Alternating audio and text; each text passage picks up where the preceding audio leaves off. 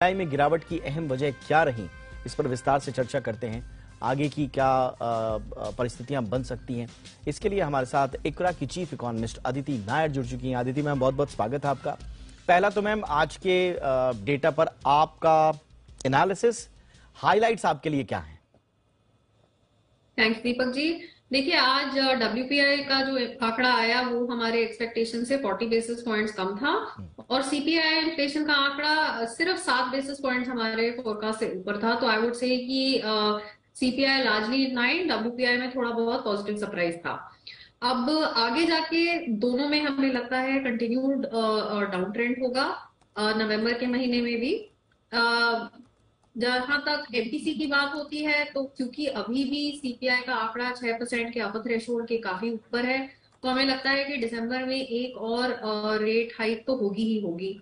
लेकिन क्योंकि ऑलरेडी अक्टूबर के महीने में मॉडरेशन हुई है सीपीआई इन्फ्लेशन में, और नवंबर में और भी मॉडरेशन होने का एक्सपेक्टेशन है।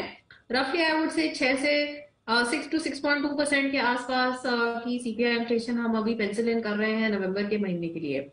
साथ ही साथ जो क्यू टू का जीडीपी ग्रोथ का आंकड़ा है वो इस महीने के एंड पर आएगा और वो भी एमपीसी के सामने होगा उनके अगले पॉलिसी रिव्यू के पहले। हमें लग रहा है कि शायद क्यू टू का जो ग्रोथ है वो एमपीसी के फोरकास्ट से हल्का सा ऊपर हो सकता है। हम्म। तो इन सब चीज़ों को बैलेंस करते हुए हमें ये लग रहा है कि 35 बेसिस पॉइंट्स का रेट हाइक दिसंबर के पॉलिसी रिव्यू में होगा और उसके आगे बिल्कुल ही डेटा डिपेंडेंट सिचुएशन रहेगी। क्या सीपीआई इन्फ्लेशन छह परसेंट के नीचे आ जाती है क्यू फोर में? और साथ ही साथ किस तरह का इम्पैक्ट होता है हमारे डोमेस्टिक ग्रोथ आउटलुक पे specially given the external demand जो अब काफ़ी uh, लग रहा है कि वीकन होती जाएगी आगे जाके? एब्सोल्युटली मैम और मैम कूल ऑफ़ हुए हैं फ़ूड प्राइसेस आपको लग रहा है कि एक छोटी सी विंडो कम से कम सरकार को मिल गई है uh, कि वो कुछ राहत ले पाए? देखिए फ़ूड प्राइसेस में तो अभी भी मंथ ऑन मंथ अपटिक है। जैसे। कि जो अनसीजनल रेनफॉल अक्टूबर के बिगिनिंग में हुई थी, उससे पेरिशेबल प्राइसेस जो वेजिटेबल प्राइसेस हैं, उन पे एक इम्पैक्ट आया है। फ़ूड इन्फ्लेशन जो है वाई टर्म में नीचे गिरी है, क्योंकि बेस जो है, वो काफ़ी एडवर्स था। तो आई थिंक ये हमको थोड़ा सा कीप इन माइंड करना होगा।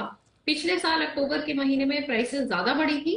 इस साल भी बढ़ी है, लेकिन पिछले साल के मुकाबले कम बढ़ी है। इसलिए वाई इन्फ्लेशन में एक हमें वेरी वेलकम ईजिंग दिख रही है। लेकिन इसका ये मतलब नहीं है कि सितंबर से अक्टूबर में हर आइटम हर फ़ूड आइटम या हर फ़ूड के सब इंडेक्स की प्राइसेस नीचे आई हैं। कुछ आई हैं, लेकिन कुछ ऊपर भी गई हैं। हम्म। आपने कहा कि ट्रेजेक्ट्री डाउनवर्ड्स ही रहेगी, लेकिन जो टॉलरेंस लेवल के अंदर जो इन्फ्लेशन आएगा, वो आप कब तक देख पा रही हैं, छह परसेंट से नीचे? देखिए आई एम होपफुल कि Q4 के अंदर तो आ ही जाएगा। अगर ये अनसीजनल रेनफॉल वेजिटेबल्स के प्राइसेस को ना बढ़ाता तो आई वुड हैव सेड कि नवंबर में ही सिक्स परसेंट से नीचे हमारा पहले 5.8 परसेंट का अनुमान था नवंबर के लिए। बट uh, जिस तरह से वेजिटेबल प्राइसेस में हमें एक अपटिक दिखी है तो अब हमें लग रहा है कि 5.8 परसेंट शायद 6 टू 6.2 परसेंट हो सकता है। आ, तो यहाँ कहा कितनी जल्दी कूल ऑफ़ होता है? एक तो ये सबसे बड़ा फैक्टर रहेगा कि कब थ्रेशोल्ड के नीचे ओवरऑल इन्फ्लेशन आती है। आई एम स्टिल होपफुल कि क्यू फोर के अंदर तो आ ही जाएगी। क्यू फोर के अंदर आना चाहिए। टॉलरेंस बैंड के अंदर उसके दायरे में तब जाकर कुछ बात बनती हुई नज़र आएगी। लेकिन मैम क्या? एक बार फिर से वही सवाल क्या एक एक एक ब्रीदिंग स्पेस मिला है गवर्नमेंट को आरबीआई को कि अब वो इन्फ्लेशन को छोड़कर थोड़ा सा ग्रोथ पर फोकस कर पाए?